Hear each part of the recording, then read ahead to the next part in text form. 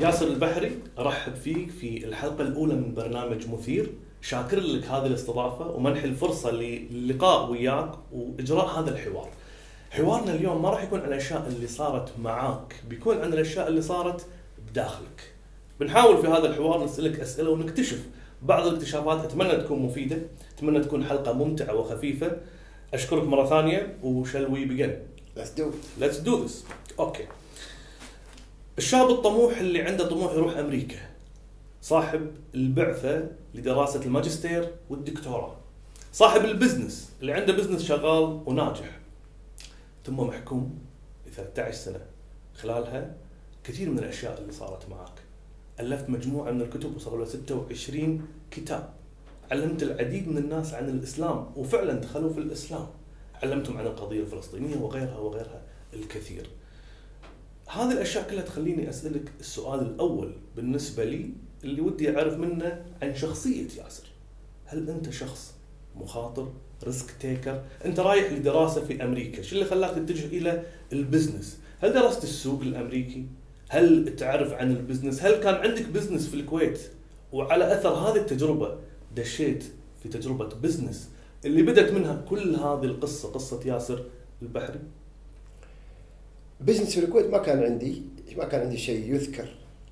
ولكن آه، يوم سويت الماجستير كنت منغمس بالدراسة. يعني كنت أدرس 12 ساعة باليوم.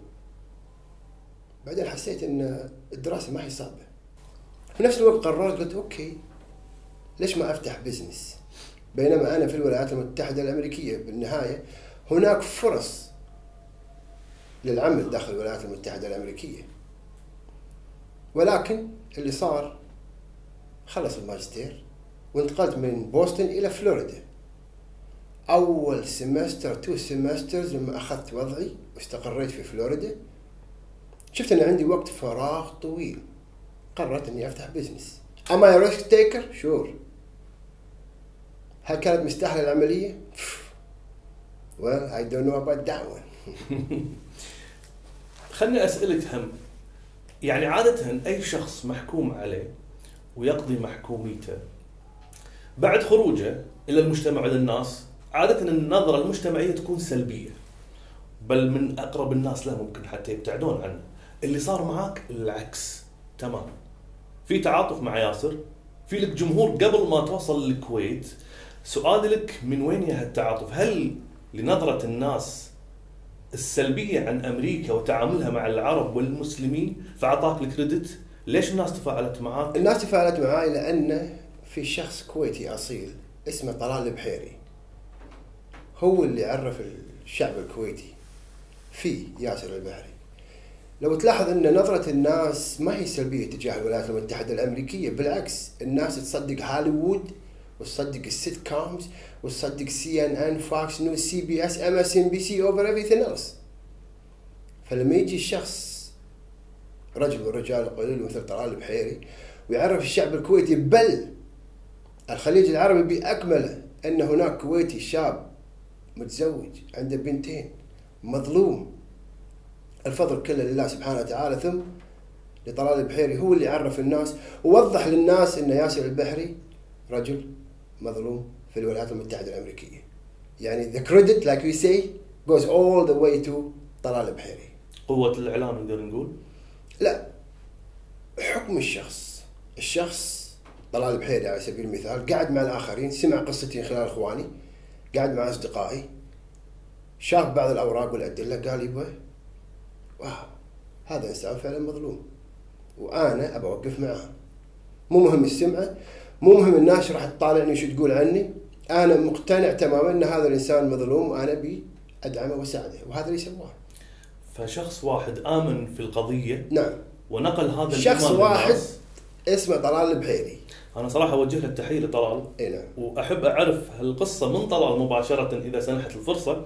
أشكره على الدور اللي قام فيه. ولكن طبعا بالتأكيد يكون القبول هذا من الله سبحانه وتعالى. الإنسان ممكن يتكلم عن شخص. لكن موضوع القبول موضوع. ثاني طيب أسألك الآن بعد هالسنوات هذه كلها 13 سنة ما راح يرجعون ابدا ما تشعر بالغضب لا نهائيا أول شيء ما راحوا مكان عشان يرجعون يعني أفهم لما تقول لي أنا تعلمت فيهم واستفدت فيهم؟ نعم أكيد لكن ما راح يرجعون هل قصدك أنا خسرتهم؟ Of course not. الحمد لله رب العالمين أنا سويت داخل السجن اللي غيري ما قدر يسويه بالعالم الحر. أنا كتبت 26 كتاب. كل كتاب ثري للغاية. حماة إسرائيل على سبيل المثال 700 صفحة. أكاديمي من الدرجة الأولى. يوم حطيت نسخة ودزيتها حق المرشد التابع لي في Florida State University وقراه انصدم. قال البحري أنت مسجون في السجن ولا في مكتبة عامة؟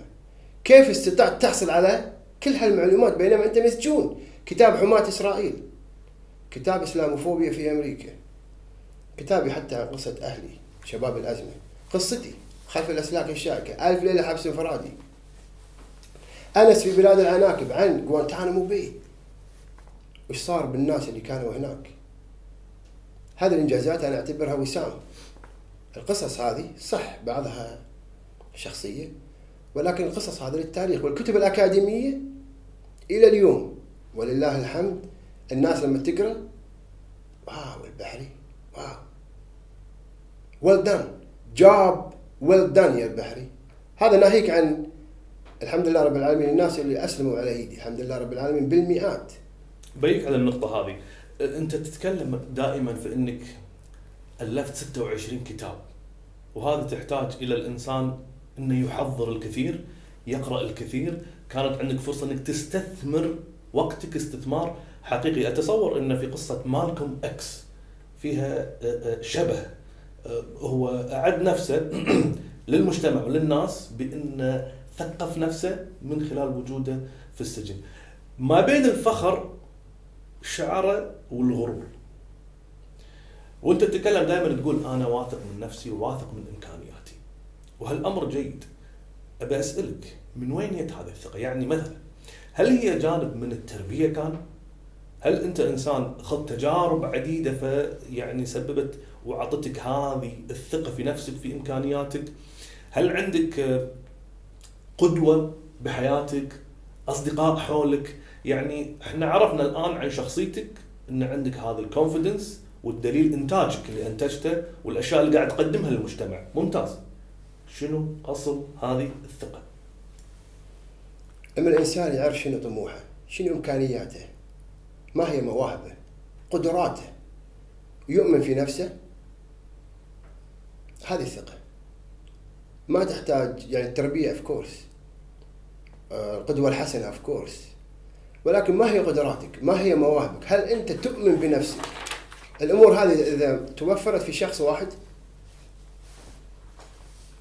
move forward يعني هل تقول أنت إن الوضوح يخلي الإنسان يثق يعني وضوح الإنسان إنه يعرف نفسه وإنه يعرف قدراته. كل ما صارت واضحة بالنسبة له كل ما زادت الثقة في نفسه. Of course فالعكس صحيح هل الناس ما تعرف نفسها بشكل صحيح؟ ما تعرف قدراتها؟ ما تعرف إمكانياتها؟ مو مكتشفة نفسها؟ هذا هذا سؤال فلسفي. أو علم نفس. لأن عكس علماء اجابته بتكون الإجابة اللي أنت بتتفضل فيها. علماء النفس هم اللي يجاوبون السؤال هذا. أنا أقول لك أنا أعرف شنو قدراتي أعرف شنو مواهبي أعرف إمكانياتي مواهبي أعرف اللي أقدر واللي ما أقدر أسويه. بناء عليه أتصرف. الثقة موجودة وإن شاء الله راح تكون موجودة. عدم وجود الثقة لأن الناس ما هي عارفة ذاتها وشخصها؟ ميبي هل هذا أحد الأسباب؟ ميبي السبب هذا مو متوفر عندي. ماني مغرور. ما في شيء انغر عليه. ولكن مؤمن بذاتي مؤمن بقدراتي مؤمن بطموحي ومؤمن بالطريق اللي أنا قاعد أسير عليه. إني على أمل إني أوصل يوم من الأيام. هو في قضية الوضوح آه، في دكتور آه، بروفيسور اسمه فيكتور فرانكل. آه، هذا عالم نفس نمساوي. أحد الناجين من السجون النازية. آه، في إحدى اللقاءات تسأل المذيعة وتقول له شو اللي خلاك تنجو؟ قال لها وجود معنى من المعاناة. إذا المعنى واضح من المعاناة يصير عندك أمل. إذا المعنى غير واضح من المعاناة اللي قاعد تمر فيها لأي سبب كان تحول إلى يأس. وأتصور هذا يعني شيء مهم في وضوح المعنى للإنسان وفي وضوح المعنى في حياته في هدفه في نفسه في أنا ما. اوافقك بالرأي ولا وافقه بالرأي لأن أنا عندي نظرية أحسن منها مع احترامي حق العالم فرانكلين. عندي نظرية أبسط وبعيدة عن علم النفس الشعب المصري العظيم عنده مقولة والمقولة هي كالتالي. مصيرها تروق وتحلى. مصيرها تروق وتحلى وأنت الحين في مشكلة؟ ما راح تكون الأبد. أنت الحين الدنيا غيم ما راح يكون غيم الأبد. يوم من الأيام الشمس سوف تشرق. يوم من الأيام الدنيا راح تبتسم. ولكن خليك جاهز للحظة هذه. لما الدنيا تبتسم you have to smile back to it. دوام الحال من المحال. صحيح. طيب الآن يعني بعد هذه السنوات الطويلة في مكان ما مع مجموعة من الناس مع أنظمة محددة متى تقوم متى تاكل متى تنام وإلى آخره. يعني هذه الفترة أكيد في شيء علق بشخصية ياسر البحري. وما قدرت تتخلص منه تم في شخصيتك خلاص. صرت الآن أنت يعني هذا الشيء وكأنه التصق في شخصيتك. ايجابا أو سلبا؟ شنو ممكن تقول لي أشياء؟ مثلا واحدة من الأشياء اللي أنا أعرفها على سبيل المثال إنك أنت تنام مبكر أنت يعني بعد صلاة العشاء خلاص تكون هذا الوقت اللي وقت الخلود إلى النوم. شنو اللي تم معاك من هذه التجربة؟ مثل ما قلت أنام بكير وأصحى بكير وهذا نظام السجون. ولكن في نفس الوقت ما عندي داعي إني أسهر. لو في عندي أي داعي إني أسهر عشان راح أسهر. لو عندي بزنس يسكر الساعة 12 راح أسهر له. لو عندي برنامج broadcast للساعة 12 راح أسهر له. راح أعدل يومي وقتي وأنسق. ولكن الآن جدولي عبارة عن رياضة بثوث صباحية تصوير في الاستديو طلعه مع الأهل غداء. صلاة cup of coffee وأحط رأسي وانام يعني حياتي بسيطة للغاية. فما أحتاج إني أغير روتيني. روتيني يتغير overnight إذا كنت أبي. ولكن so far ما أحتاج إني أغير روتيني. فروتين السجون انام بكير وأصحى بكير عاجبني و fits me very well by the way قد يبدو الكلام غريب لكن الإنسان المحظوظ اللي يعيش حسب ما الطبيعة تفترض إن الإنسان يعيش لأن المفروض إن الإنسان خلاص بالسبع ثمان المفروض إن هذه نهاية اليوم بالنسبة له يقولون إيه يقولون الميلاتونين يزيد والسيروتونين ينخفض في الدماغ وهذا كنت أبحاث عديدة في صحيح. يعني عدة عدة أبحاث حول العالم تتكلم عن إن كثير من الهرمونات تفرز في راحة الإنسان ووقت راحة الإنسان وقت الليل ومفروض إن وقت الصبح اللي يبتدي من الفجر هذه البداية الحقيقية صحيح. وقت النشاط والأرزاق طبعا إحنا عارفين كمسلمين موزعة في هذا التوقيت. أه، أهم سؤال شدني من أحد الأشياء اللي أنت دائما تكررها على بشكل فني بشكل مضحك. ذكرت إنك وصلت لمرحلة قريبة من الجنون. شنو يعني قريبة من الجنون؟ يعني شنو كنت تتكلم مع نفسك؟ تتكلم مع عندك صورة معينة، شنو اللي وقلت أنقذني ربي من الوصول إلى هذه صحيح المنطقة، صحيح إذا تقدر أوكي سؤال قز- قضيت انفرادي مئات الأيام. كتبت كتاب كامل عن تجربتي في الحبس الانفرادي. اسم الكتاب ألف ليلة حبس انفرادي. بعد تقريبا 45 يوم أنت بالانفرادي بالانفرادي تبدأ تحلوس تبدأ تكلم نفسك تبدأ تشوف أغراض وشغلات تبدأ تسمع أصوات بعد 45 يوم. بعد تقريبا ثلاث شهور تبدأ نفسك ترد عليك وتكلمك. أنت أول شيء تكلم نفسك؟ وايد ناس يكلمون نفسهم. في الشارع الناس قاعد تمشي تكلم نفسها صحيح. وهذا شيء طبيعي. لما نفسك تبدأ ترد عليك وهي تبدأ الحديث معك تعرف إن أنت وصلت إلى مرحلة الجنون. Talking?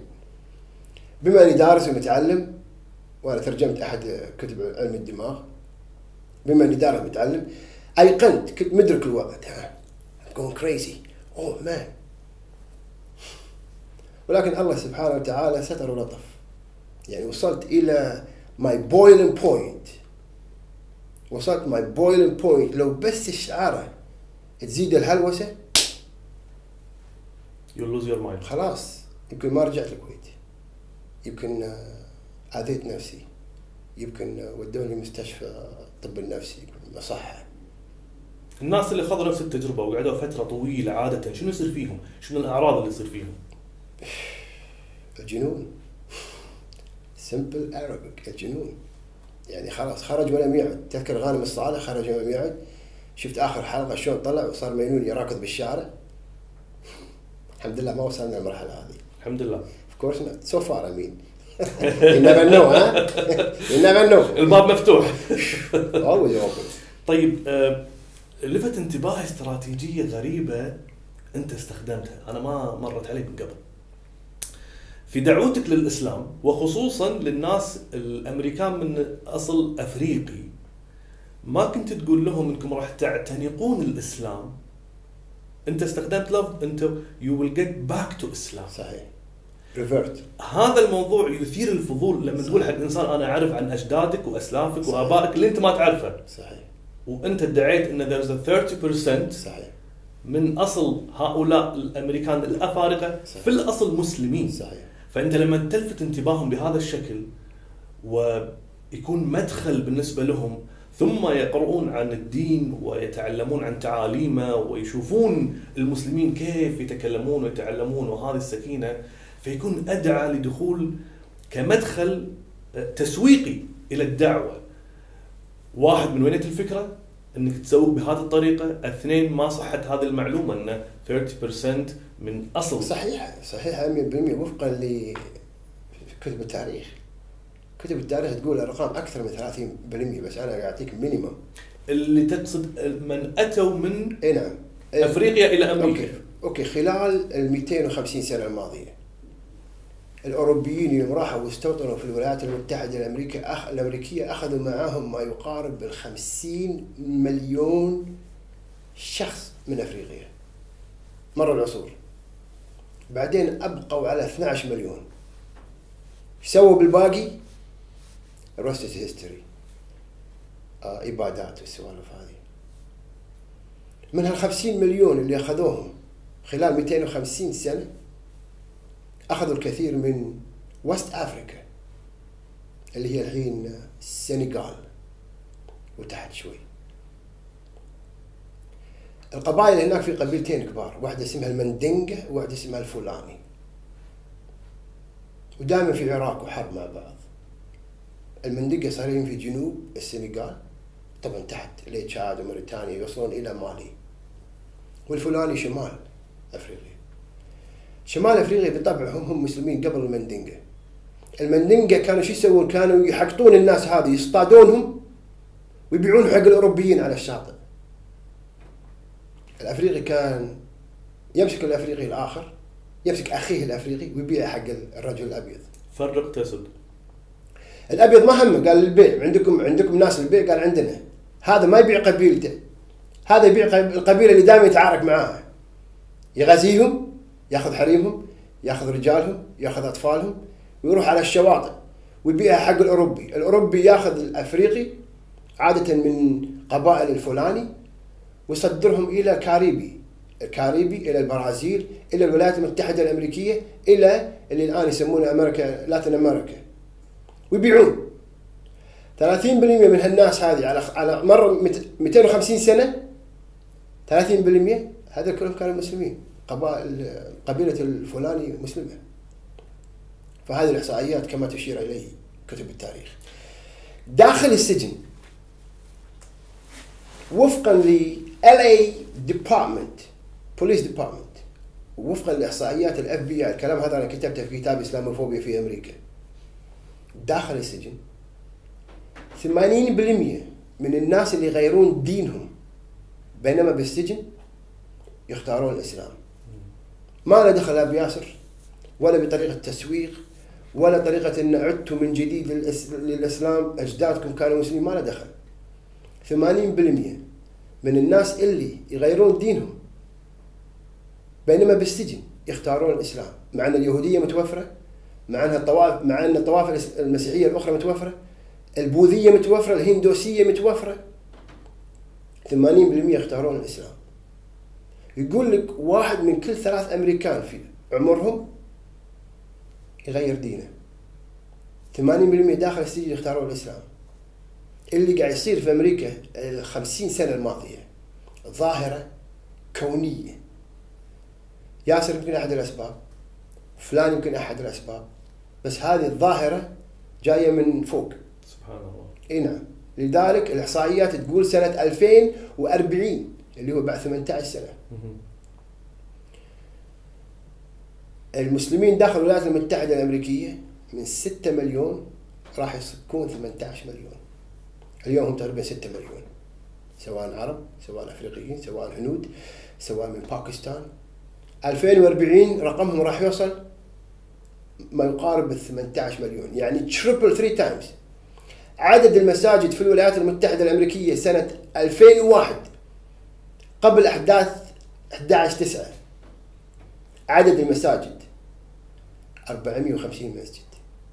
اليوم اللي هو ليه سنة قبل إلى حتى كتابة كتاب إسلاموفوبيا في أمريكا عدد المساجد في الولايات المتحدة الأمريكية على الرغم من الإعلام السلبي داخل الولايات المتحدة الأمريكية الآن 1450 مسجد.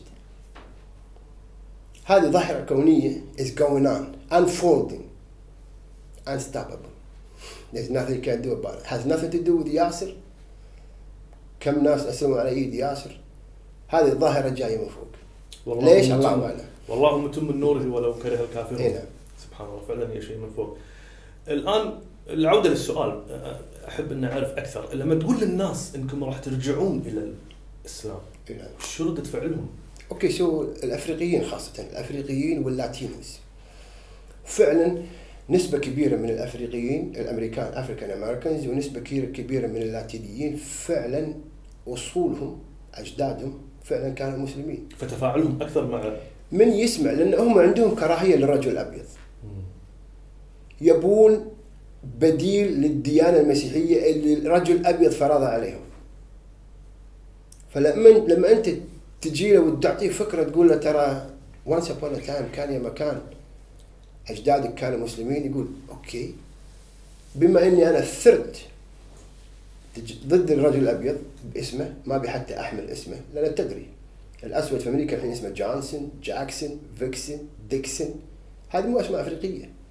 فيقول زي ما أنا بتخلى عن الأسامي هذه أبى أختار أسامي أفريقية سواء ادا بيسي سواء جمال. جميل. زي ما أنا بت... قاعد يعني أثور ضد كل شيء أبيض اذا لما لا أيضا المسيحية. هذه أيضا اثر على اثر على الدين كذلك. إي نعم الدين المسيحي. الدين لأن هذا المسيحي. يبين انه أعطاني إياها أنا ما ابي ما هو الخيار؟ يقول okay شنو قلت؟ أجدادي مسلمين. bingo! I'm مسلم too فهذه كانت النظرية. خاصة لما تسمع ال rap music ال singers من Nas ل Jay-Z لآخرين حتى تي بين هذول ترى كلهم مسلمين. هذول باغانيهم يقول لك. يقول لك the white man religion the white man culture the white man this. إحنا are doing a revolt. إحنا قاعد نسوي ثوره ضد الرجل الأبيض وثقافته ودينه وأسمائه وطريقة كلامه وطريقة مشيه وطريقة لبسه. نبي نخلع كل شيء. ما هو أوروبي ونعود إلى الماضي. عندهم حالة من التمرد خصوصا في ال black community اللي ما عاشون من العبودية وال slavery في السنين الطويلة في أمريكا فسبحان الله كلامك منطبق تماما مع الواقع الأمريكي إنهم يبون يثورون. هذه الكلمة حتى يرددونها حتى في ال rap culture هذه الكلمة دائما ما تتردد إنهم يبون آه، الثورة. آه، ياسر علمت زملائك عن الكثير من الأشياء. علمتهم عن السياسة عن القضية الفلسطينية. تعلمت لغات وعلمت لغات. وطبعا دعوت للإسلام عدد كبير جدا. السؤال هذا من شقين، الشق الأول اجابته نعم أو لا، هل أنت شخصيه معطاءه؟ كورس أنا أمشي بالآية بالقرآن اللي تقول بسوره مريم. وجعلني مباركا أينما كنت.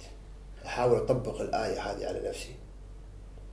أحاول أن أكون أنا مصدر إلهام للآخرين. مصدر معلومات للآخرين. حتى لو ابتسامة حتى لو طرفة حتى لو ضحكة. You will get something out of me. الجزء الثاني من السؤال، هذا الأمر اللي راح تأثر فيه على الآخرين. تأثير العطاء عليك أنت نفسك. هل يساعدك إنك أنت ما تركز في الألم وتركز في الأمل؟ هل. هل ينسيك المكان اللي أنت فيه؟ هل يخليك ويعطيك دافع للحياة؟ ما هو أثر العطاء عليك أنت؟ أثر العطاء على الشخص أنا أحس ان النداء الواجب لا أقل ولا أكثر يعني ما يعطيني لذة ولا يعطيني متعة as a matter of fact sometimes it's a headache. بس أنا أعتقد إن هذا نداء الواجب. أنا عندي. بس أكيد في نتيجة مباشرة عليك أنت لما تعطي لما تعلم أحد لما دخل أحد الإسلام. يعني الفرح في هذه الأشياء ليس أمر مستبعد. الإسلام الإسلام وهم. أشياء أخرى كذلك. الإسلام عندنا سبحانه وتعالى. نعم. إن شاء الله ما كانت مسألة رياء نعم. إن شاء الله انها تحسب في ميزان حسناتنا. إن شاء الله. هذا of course ولكن in general عموم ال... أنا أسوي لأني أنا أعرف. أنت الحين تقول لي البحري. واحد زائد واحد. اثنين. ما راح ما راح أبخل عليك بالمعلومة. أنا أعرف الإجابة ما راح أسكت. يقول ياسر واحد زائد واحد. أنا أخاف أقول له واحد زائد واحد يصير اثنين بعدين هو يفهم بعدين هو يسوي بعدين أنا ما أستفيد. مو هذه طريقتي. شنو عندي معلومات؟ أنا مستعد إن I share it with you share with the next man خاصة the next man يبدي اهتمام إنه فعلا وده يتعلم. سواء صنعه سواء لعبة سواء معلومة سواء قصة سواء إحصائية. حتى لو كانت طرفة أو نكتة حاضرين. في أبسط الأشياء قد تكون أكبر التغييرات وفي أدق التفاصيل تحصل أكبر التغييرات. لكن الإنسان اللي عنده الرغبة والنية والدافع للعطاء هو اللي يستلذ بالنتائج والنتائج تكون عليه شخصيا مو شرط رياء. مو شرط نتائج مادية لكن مجرد الشعور الجميل which is as by-product كنتيجة ثانوية بس مو هذا اللي أنا قاعد أسعى له. أنا ما يعني على سبيل المثال مو من النوع نوع البشر اللي يعطي الفقير خمس دنانير عشان هو يشعر بالسعادة. مو هذا جوي. أنا اذا علي واجب إني أعطي الفقير أعطي الفقير لأن هذا واجب. مو لأن راح أستلذ من وراها I feel good. No. If you feel good there's a million things I could do. عرفت شلون؟ أه، سؤال عن يعني حوار بينك وبين أحد زملائك في مرحلة اعتماد الماجستير. كان لابد إنك تتعلم لغة ثانية عن اللغة الأمريكية. وأحد شروط اجتياز الماجستير إنك تتعلم اللغة الثانية. رحت مع زميل إلى قسم تطلبون أه، إعفاء. طلب الإعفاء وادعوا بأن العربية غير معتمدة فلا بد أنك تتعلم لغة ثانية. يا وشاركك المعلومة. فأنت تحديت أو أخذت الموضوع بشكل تحدي وقلت له شوف شنو راح أسوي. صحيح. watch and learn watch and learn طيب ورحت حق رئيسة القسم. إيه، كانت رئيس القسم اسمها سويني. سويني. Boston و- College. وقلت لها إن في 450 مليون إنسان يتحدثون اللغة العربية. صحيح. فيجب على هذا المنطق إنكم تعتمدون اللغة اعتمدت وأنتم اعتمدتوا ل 6 مليون اليهودية. يهودي. يتحكى العبرية صح. هذه اللغة. فمن باب أولى إنكم آه، تمنحوني الاعتماد وتعطوني الإعفاء معناها أنا عندي لغة ثانية. صحيح. وبالفعل هذا اللي حصل. وقبلت حجتك المنطقية صحيح. والإقناع. وأنت ذكرت كلمة عقب ما رجعت لصاحبك وهذا اللي أبي أنا أركز عليها. أنت قلت له تمسك بمبادئك واعرف تاريخك كيف من تمسك المبادئ ومعرفة التاريخ ان تحصل على الحجة أو المنطق أو تساعدك في بلوغ أهدافك في المثل هذا اللي أنت ذكرته يعني أنا كنت في قسم الفلسفة والفضل يعود إلى العرب والمسلمين في حفظ كيان الفلسفة المعاصرة، في حفظ كيان الفلسفة الأوروبية. الفلسفة الحديثة والفلسفة المعاصرة. اليوم ما كانت راح تكون فلسفة لولا العرب والمسلمين لأن العرب والمسلمين هم أيام الدولة العباسية ترجموا كل مخطوطات أرسطو وأفلاطون من اليونانية إلى الأرامية إلى العربية. بعد 600 سنة الأوروبيين بعد ما ضاعت المخطوطات الر- الرئيسية باليونانية لجأوا للعرب وأخذوا من العرب ترجموها back to Aramaism و back to اليونانية. بعدين ردوا ترجموها الإنجليزية التراتبية هذه ما كانت راح تكون لولا فضل العرب الفلاسفة العرب والمسلمين أيام إلا في أيام الدولة العباسية. إذا أنت تعرف المعلومة هذه وتدخل على رئيسه القسم وتقول أنت شايفه نفسك على شنو؟ أنت هذه كلها كرسيك قسمك الكبرى على مبني مؤسس على فضل العرب. العرب هم اللي بنوا هذا كله لك. انت الحين رئيسه قسم في جامعة محترمة في Boston College. فأنت لما تجيهم بالحجة هذه now wake up time okay الآن أدركت صح wow شو كنا غافلين عن الموضوع هذا فهذا اللي صار لما أنت تعرف مبادئك وتعرف تاريخك ما عندهم حجة واصلا حتى لو رئيسة القسم هذه ما وافقت تقدر تجرجرها تحقيق توديها محكمة فاللي عنده المعرفة عنده القوة. للنقاش وللتفاوض of course وللحصول على ما؟ of course يعني انت جرب الحين مثلا تبي تبي تأجر محل. رحت حق راعي المجمع. عنده ثلاث محلات للإيجار. إذا أنت تعرف شنو ال deal العقد اللي سواه مع الآخرين تعرف أي منطقه تكلمه. أعطى هذا ست شهور سماح. طيح 1000 دينار من آه، آه، أجار هذا. حط مكيفات حق الثالث. لما أنت تجي يقول لك والله أعطيك شهر سماح المكيف عليك والأجار 3000 قول لحظه لحظه حبيبي شو السالفة يبا سوي كذي نزل من كذي والمكيف عليك واسوي عقد خمس سنوات معك الحين يحس إن أنت فاهم. الحين ما يقدر ياخذ راحته ويقط كل شيء في حضنك أنت المسؤول عنه. فإذا أنت عرفت أصول اللعبة ما عليك إلا أنت you deal and play فكرة عجيبة قاعد تطرحها. ودائما أتذكر الآن كلمة معرفة دائما ترتبط معها كلمة قوة. The power of the knowledge. قوة المعرفة. فعلا المعرفة لما تعرف تصير أقوى في التفاوض والوصول إلى الهدف ايا يكون هذا الهدف. آه، معلومة أنا أمانة أحب إني أعرف عنها. أنت قلت إنك عرفت عن بناتك الثنتين. الله يحفظهم. خلال السنوات هذه الطويلة من خلال الرسائل والصور. صحيح. واللي كانت زوجتك باستمرار تمدك فيهم وترسلهم لك. فالأحداث اللي صارت معاهم تطورات حياتهم المراحل المناسبات كلها عرفتها من خلال الرسائل ومن خلال الصور. صحيح. شنو اللي خلى أم مريم تؤمن فيك لهذه الدرجة؟ وما مدى تأثير إنه يكون عندك إنسان داعم بهذا الشكل؟ وعنده الأمل والصبر وعنده الاستمرار في دعمك ودفعك في خلق هذه الروح المعنوية اللي اللي طلع إصرار. ودي تكلمني عن بنت جاويد. نعم. بنت ناس. ناس طيبين قوي كمان مش أي ناس. يعني يوم قالت معانا بالسراء والضراء فعلا قالت أنا معاه بالسراء والضراء. يمكن أحيانا أنا شك نفسي حتى أشك بنفسي هل أنا فعلا أستاهل كل هالعطاء هذا؟ العطاء كان بزيادة لدرجة إن أنا أخجل بشدة العطاء وشلون واقفة معي الفترة هذه كلها. طبعا هذا كله يبدأ من الإيمان إن تعرف من زوجها تعرف يعني مبادئه تعرف سلوكه. يعني بالنهاية ترى بنت الناس بنت ناس محترمين وصغيرة في العمر. ما راح توقف معاك الوقفة هذه إلا فعلا مؤمنه فيك إن أنت فعلا بريء إن أنت فعلا معدنك طيب أنت فعلا حاشتك طامة كبرى. ولما تيجي الطامة الكبرى شو تهرب الرجل يمكن يهرب بس هي وأخريات ما تقدر راح يهربون. ل 13 سنة تولت المسؤوليات لوحدها؟ شور.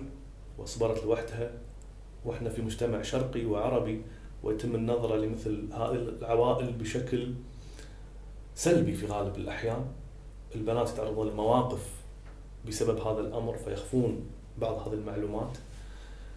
فقوة إن الإنسان يؤمن فيك على الرغم من كل هذا أعتقد إنه يصنع إنسان بداخلك لا يمكن ان يتحطم. الحمد لله رب العالمين. السؤال الأخير في هذه الحلقة اللي صراحة أنا استمتعت جدا فيها. شخصية معروفة أمريكية شخص اسمه جيم رون. مر عليك؟ لا والله. جيم رون entrepreneur motivational speaker و writer كاتب. له جملة عجيبة استوقفتني من وقت ما سمعتها. يقول إن الإنسان هو أحد شخصين. إما يكون مثال يحتذى به أو يكون عبرة الناس تعتبر منه. You are either an example or a warning. أنا ترجمت ترجمة مش حرفية لكن ترجمة تصل بالمعنى إلى الجمهور. ياسر البحري بشكل مباشر أنت مثال يحتذى به أم عبره الناس تعتبر منها؟ السؤال هذا المفروض تلقيه حق الجمهور نفسه. الجمهور المفروض يجاوبك بالسؤال هذا. آه، رايي الشخصي أتوقع أنا عبره. يعني أنا هل أنا مثال؟ على الصبر يمكن. المثابرة يمكن. الاجتهاد يمكن. التعثر والوقوف والمضي قدما من جديد يمكن. هل قصتي عبرة للآخرين شو؟ أعتقد أنا يمكن مزيج من كلا الشخصيتين. أعتقد أنا مثال في بعض الأحيان وإن شاء الله أني ما أكون مثال في بعض الأمثلة وأعتقد أن قصتي عبرة للآخرين إذا كان في شيء ودك تضيفه سؤال ما انسال أو أنت حاب توضح أمر معين؟ شكرا جزيلا. شكرا لك. ياسر البحري على هذه الفرصة مرة أخرى استمتعت بالحوار معك وأشكر للجمهور العزيز المتابعة أتمنى له الاستفادة وإلى حلقة قادمة وشاكر لك يا ياسر. حبيبي. شكرا لك. العفو. السلام عليكم.